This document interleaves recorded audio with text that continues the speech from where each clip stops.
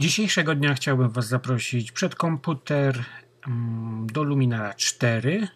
E, będziemy zmieniać to nudne zdjęcie bardziej coś efektowniejszego.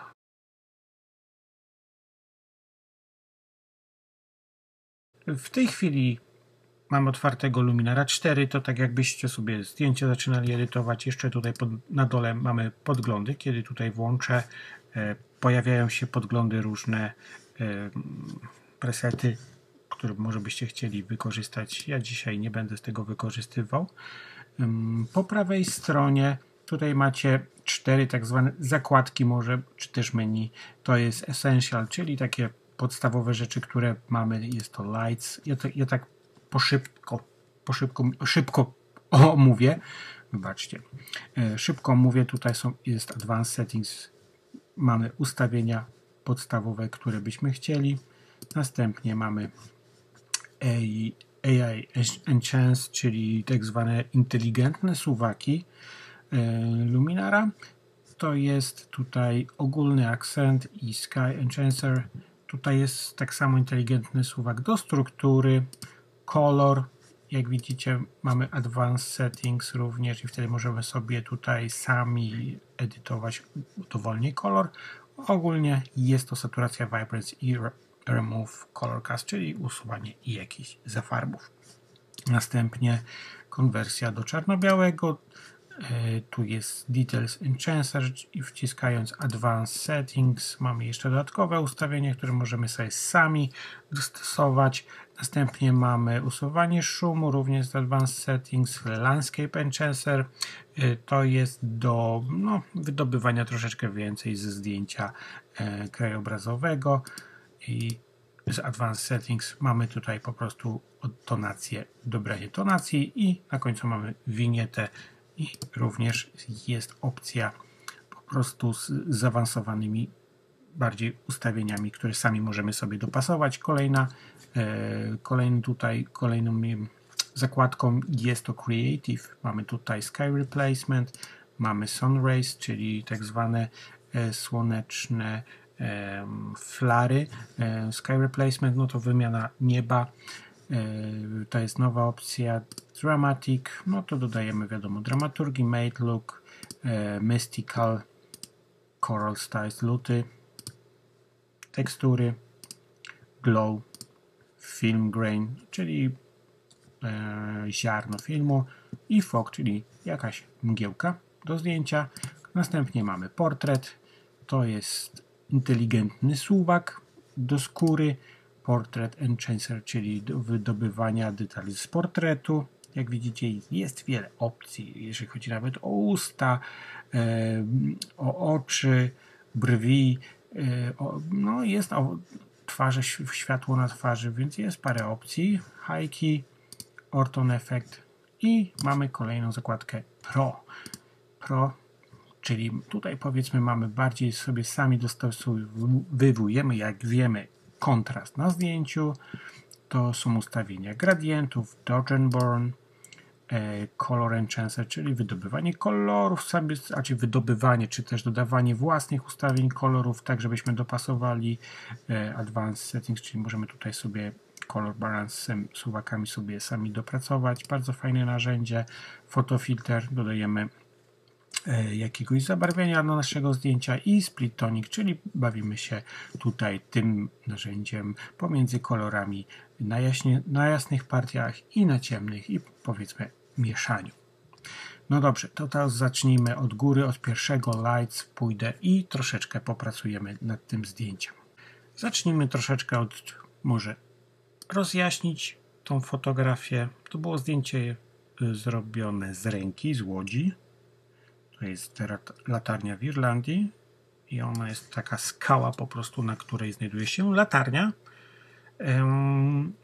I tutaj opływaliśmy tę latarnię, fotografując ją o zachodzie słońca praktycznie. Niestety słońce tutaj z tej strony chmury się rozproszyły, było czyste niebo, a od strony zachodu, czyli jakbyśmy patrzycie w monitor od pleców, czyli z drugiej strony chmury zakryły słońce i właśnie tak to wyszło. Więc dzisiaj chciałbym dzięki Luminarowi pokazać Wam, jak zmienić to właśnie nudne zdjęcie bardziej coś um, żywszego, że tak się wyrażę. Dodajmy troszeczkę e, na tych skałach, wyrazistości. Smart Contrast, zobaczmy. Nie chcę za dużo, minimalnie. Highlights, nawet highlights nie będę ruszał. W porządku, whites może trochę, podbiję. Blacks zostawię. Przechodzę niżej, tak zwany inteligentny suwak, więc zobaczmy co on mi zrobi. E, rozjaśnił dół, przyciemnił górę, no całkiem nieźle, ale moje, nie, moje niebo nudne, praktycznie ono się nie nadaje do tego, więc e, zostanę może tutaj 21, zobaczmy przed i po. I następnie Sky Chaser, to zobaczmy maksymalnie, znaczy na tym niebie praktycznie to się nic nie dzieje, więc e, sami widzicie, ja bym został może gdzieś tylko troszkę, zresztą tutaj tak nic się nie da. Struktura. E, struktury może troszeczkę bym tutaj tak dał, podbił minimalnie, zobaczmy maksymalnie. A teraz mi zaczyna molić, bo pracuję na dysku zewnętrznym, zdjęcia nie skopiowałem, musicie wybaczyć, ale zaraz zobaczymy przed i po. Ok, się zdjęcie załadowało. E, więc minimalnie tylko tego detalu. Kolor zobaczmy, ja tu może na razie bym tego nie ruszał.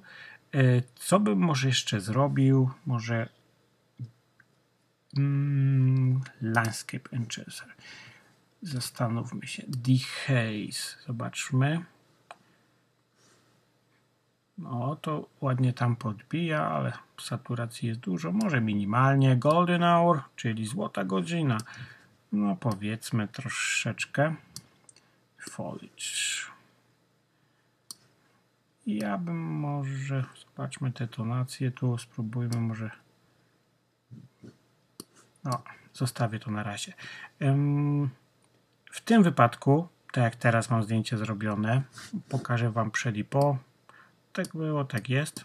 Całkiem nieźle mimo tego nudnego nieba. Teraz chciałbym to zdjęcie wyprostować, ponieważ ja ręce wystawiłem za łódź, bo fotografowałem D750, więc monitor sobie e, monitor też mówię, wyświetlacz. E, wyświetlacz sobie po prostu podniosłem i starałem się jak najniżej wody być, jak najbliżej, żeby sfotografować latarnię. Wciskam zatwierdzam. I teraz tak, w tym etapie przejdziemy do zakładki Creative. W zakładce Creative przejdziemy do zamiany nieba. E, jest to nowa opcja. Ja wiem, możemy to zrobić w Photoshopie, ale fajnie, że mamy możliwość zrobienia tego w takim programie podobnym, zbliżonym, takim jak jest Lightroom. E, klikając u Sky Selection możemy sobie pobrać oryginalne niebo, mamy podgląd, również możemy sobie załadować jakieś zdjęcia. Tu mamy już kilka propozycji. Nie wiem, to są kwestia dopasowania kolorystyki nieba i tego nieba do waszego zdjęcia, jakie byście chcieli. Ja sobie wcześniej patrzyłem e, na, na te zdjęcia, jak one wyglądają i z tego co kojarzę, to Dramatic Sunset 5 będzie idealnie pasował do tego zdjęcia. Co myślicie? No dobrze, to powiedzmy, że mamy i praktycznie ja nic nie robiłem, żadnych suwaków tutaj nie ruszałem, e, wtapiania ani nic nie ruszałem, po prostu ja tylko zaznaczyłem niebo. W tym wypadku działa to świetnie. W tej chwili powiecie, ok, no niebo jest w porządku, jest wymienione, mamy światło z tyłu, bo praktycznie światła nie mieliśmy tutaj na latarni, gdzieś tam się odbijało, więc no jest ok, ale jednak woda powinna odbijać jakieś światło. Powiedzmy, że tak jak w tym wypadku, tutaj, w tej części zdjęcia, niebo, to odbicie pokrywa się z tym, tak, to odbicie nie pokrywa się w ogóle tutaj z tym. Jak, jak to zaradzić? Przejdźmy do tak zwanego Pro. O, i to akurat mam. Split Toning. E, w tym wypadku ja użyję sobie Edit Mask i Gradient. Mask. I w tej chwili będę próbował może mniej więcej coś takiego zrobić. Takie przejście e, na jasnościach. Bo teraz podbiję kolor czerwony, bo jest kolor czerwony ustawiony. Jak sami widzicie, on już tutaj się odbija. Ale czerwony nie może być, tylko musi być taki bardziej zbliżony, powiedzmy, do tego, co mamy na niebie, więc e, próbujemy, próbujemy. Zobaczmy. Saturacja.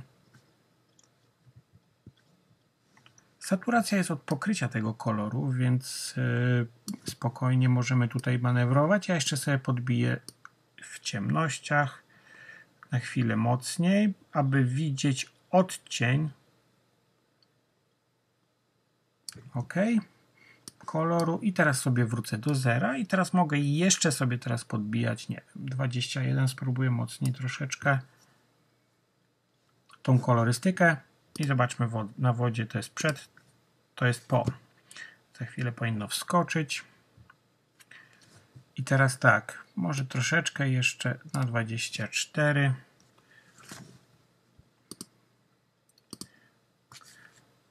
Nie chcę wskoczyć, chwilę musimy poczekać ze względu na e, połączenie z twardym dyskiem.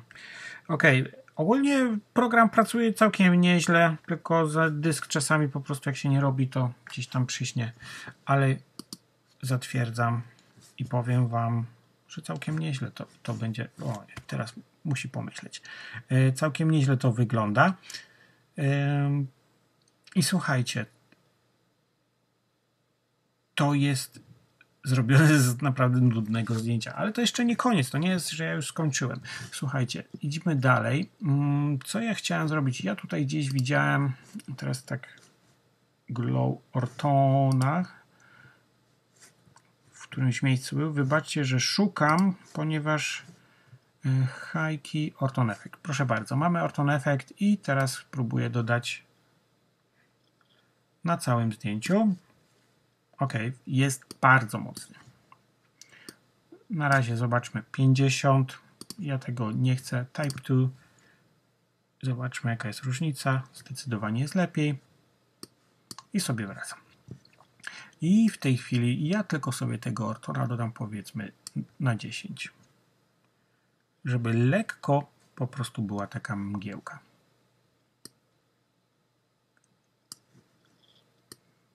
Może trochę więcej.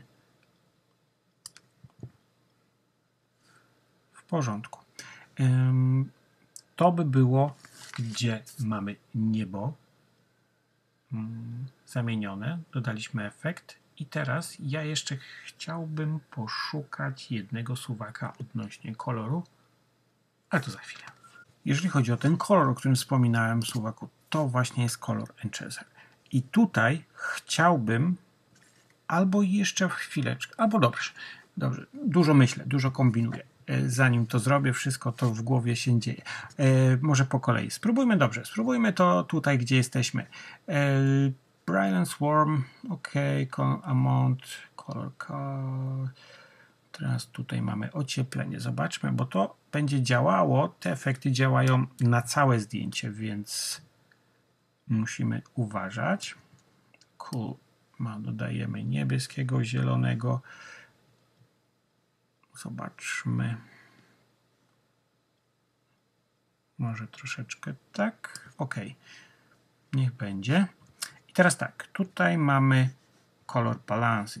Świetne narzędzie. I teraz tak, ja bym chciał w ciemnych partiach zrobić niebieskie, zimne i może troszeczkę czerwonego dodać. Mianowicie highlights chciałbym zrobić w drugą stronę, cieplej, czyli te jaśniejsze partie. I tutaj też praktycznie możemy dodać troszeczkę czerwonego, E, zielonego spróbujmy. Ja bym chyba w drugą stronę poszedł w magentę. porządku. Przed i po. Pewnie też chwilę potrwa. Więc nasze zdjęcie już całkiem nieźle wygląda. Co teraz? Wróćmy do, do góry.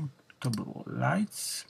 I teraz jeszcze Shadows. Spróbujmy Shadows wydobyć, ponieważ troszeczkę zrobiliśmy edycji na naszych zdjęciach. Mm, highlights. Przyciemnijmy lekko. I jeszcze przejdźmy na dole do Landscape. To nas będzie tutaj interesować. Zobaczmy, mamy Dehaze. On jest ustawiony na 10, ale ja pójdę maksymalnie, zobaczymy co się dzieje, tak żeby mieć podgląd na to, jest podbicie kolorów. Mm -hmm. I zdjęcie zostało trochę przyciemnione. Co fajnie działa, powiedzmy, przyciemnienie fajnie działa na niebo, na kolory, ponieważ jeżeli przyciemniamy nasze zdjęcie, to ogólnie kolory wtedy zaczynają być podbite również, więc czasami warto na to uważać. Zobaczmy Golden Hour. Biorę maksymalnie.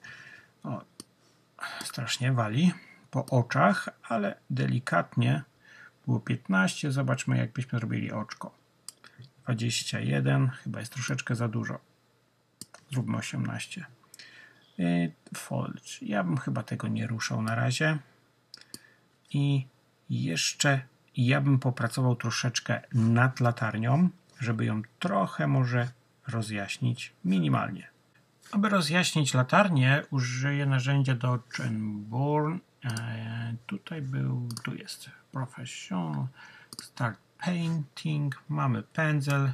Możemy sobie powiększyć lub zmniejszyć. Ja sobie go zmniejszę, co by tam mi poza obrys latarni nie wchodził. Minimalnie. I teraz tak, możemy sobie tutaj dopracować 0. Faktycznie teraz nam rozjaśnianie, mu mamy rozjaśnianie, przyciemnienie, wymazywanie, yy, więc ja tylko chciałbym troszeczkę rozjaśnić. Zobaczmy 36.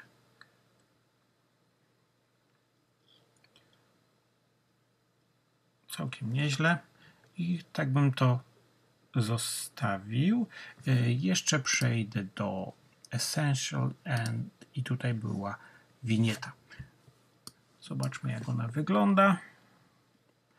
Na minus 100 wezmę, więc powinno być bardzo ciemno. Więc ok, już mniej więcej wiem co jest. 14.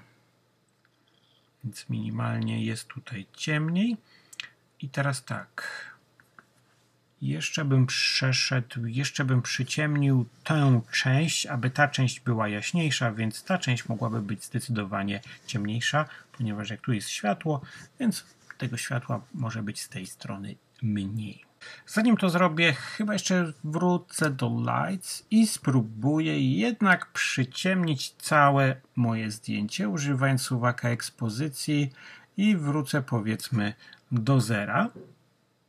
I teraz właśnie skupię się jeszcze na części tej tutaj e, mojego zdjęcia i tutaj właśnie pójdę do Adjustable Gradient.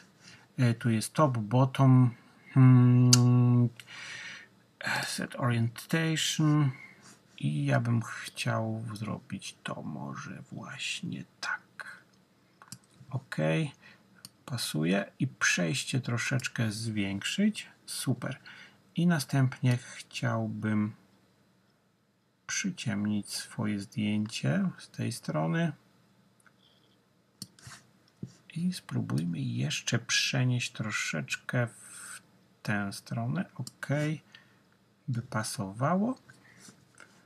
Mm, zobaczmy przed. Zobaczmy po.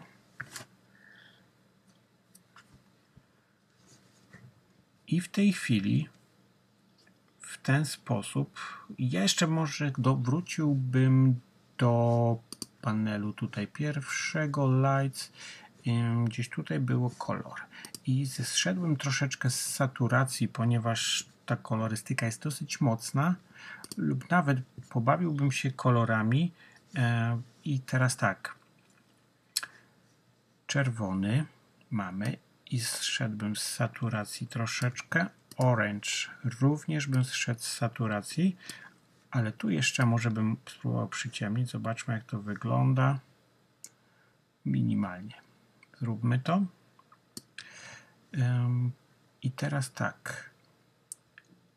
Te kolory, które chciałem, to już przyciemniłem. Jeszcze żółty, może bym jeszcze minus 5 bo takie widać dosyć mocno nasycone jest. Nie wiem, czy orange bardziej musiałbym stonować. Lekko. Ok. I w tej chwili ja może jeszcze bym spróbował. Hmm, spróbujmy cyjan. Zobaczmy, gdzie on jest na zdjęciu.